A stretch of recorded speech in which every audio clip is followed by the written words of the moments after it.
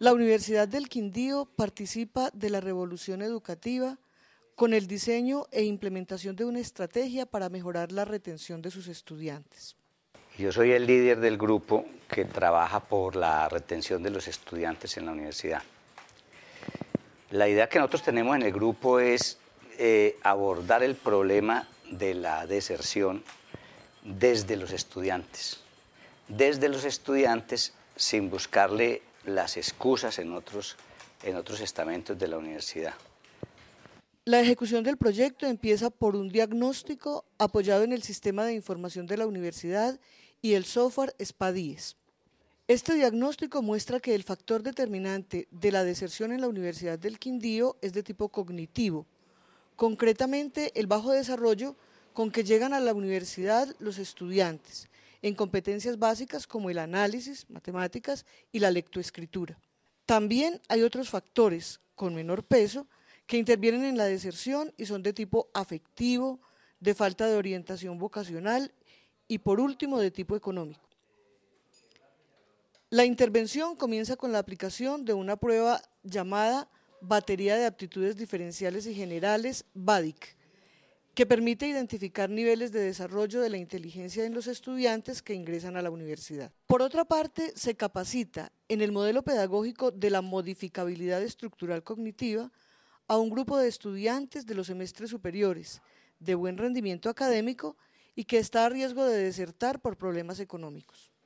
La estrategia integra los dos grupos de estudiantes en los talleres de modificabilidad estructural cognitiva que aplican los estudiantes facilitadores a los estudiantes de los primeros semestres que tienen deficiencias en la parte cognitiva.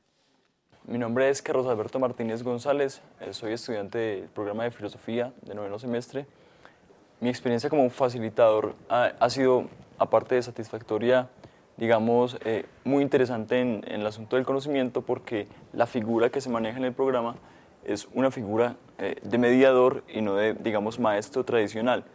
Eh, eso implica que se construye el conocimiento a través de la pregunta.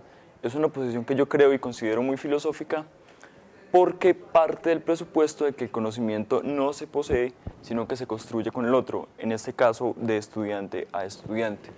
Creo que es en síntesis lo más relevante que podemos encontrar en el programa, aparte pues de lo que significa la teoría de la modificabilidad cognitiva, pero que en el encuentro ya digamos, en la mesa, estudiante con estudiante, eh, uno puede, digamos, eh, descubrir, o más bien eh, notar cómo entre una pregunta y una posible respuesta del otro estudiante se va construyendo un conocimiento juntos. Yo creo que eso es en síntesis lo que podemos, digamos, en primera instancia resaltar.